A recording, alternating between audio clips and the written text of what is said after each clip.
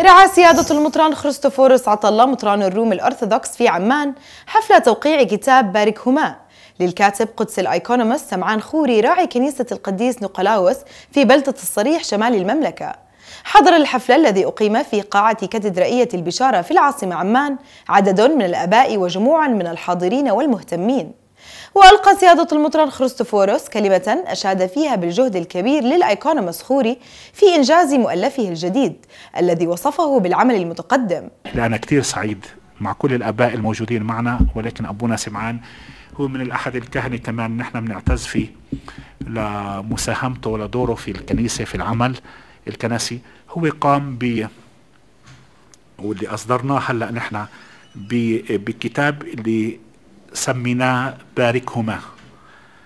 وبشكر كل اللي, اللي ساعدوا وساهموا في إنه ينوجد هذا الكتاب اللي عمله ابونا سمعان بدي أترك ابونا سمعان يحكي عنه ويحكي هو أكثر عن عن هذا الموضوع. لأنه كتير مهم الأشياء المذكورة في داخل هذا الكتاب آه، مهمة للأزواج مهمة للعائلة المسيحية. ومن جهته ألقى الأيكونوم السمعان كلمة شكر فيها سيادة المطران على محبته وتكريمه في رعاية الحفل. كما شكر جميع الآباء الكهنة وعموم الحاضرين على دعمهم الكامل ومشاركتهم. آه، بداية لابد من الشكر. لصاحب الغبطة لإعطائه البركة بطباعة هذا الكتاب. وأيضا الشكر الكبير لصاحب السيادة المطران كريستوفوروس آه، سيدنا والأخ آه، والمرشد والعزيز والغالي على قلوبنا جميعا. اللي من بدايات آه، فكرة هذا الكتاب كان هو الداعم وهو الراعي وهو المشجع واللي بدوره كمان اطلع على النص وأعطى ملاحظات عليه. آه، كل الشكر لقدس الإخوة الآباء الأجلاء اللي حضروا اليوم معنا. وكل الشكر أيضا لكل من ساهم بأن يخرج هذا الكتاب إلى النور من البداية إلى النهاية.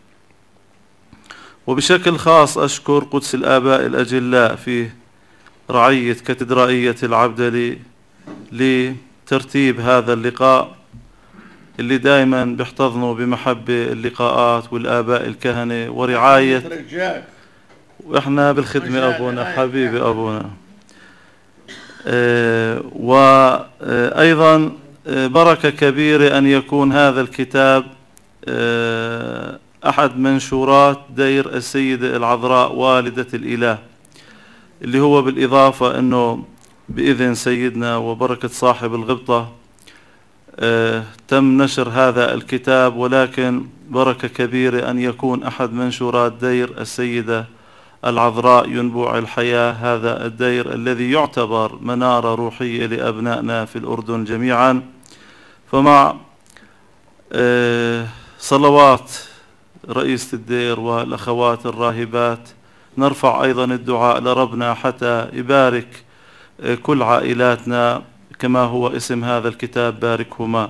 حتى دائما ربنا يعطي البركة والنعمة لكل العائلات حتى تكون فعلا هي كنيسة صغيرة في كل بيت.